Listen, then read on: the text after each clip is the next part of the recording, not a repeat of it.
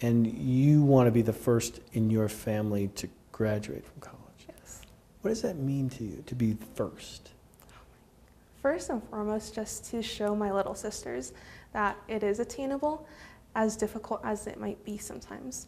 Being the first in my family, my immediate family, to be applying to college was one of the most difficult things I've had to do in a while. And through all of that, I was able to, with the help of my community, apply to the places that I wanted to go to, get into a university that I was really excited about attending, and just be able to show my community, my sisters, that it's something that's within reach. Um, the workload won't be easy, and there will be a lot of emotional and mental trials that you'll have to go through. But pushing yourself and really believing in, in your own abilities can get the fruits that you want to get. And I want to show them that that's something that they can get as well. What do you tell your sisters? Tell them to work hard.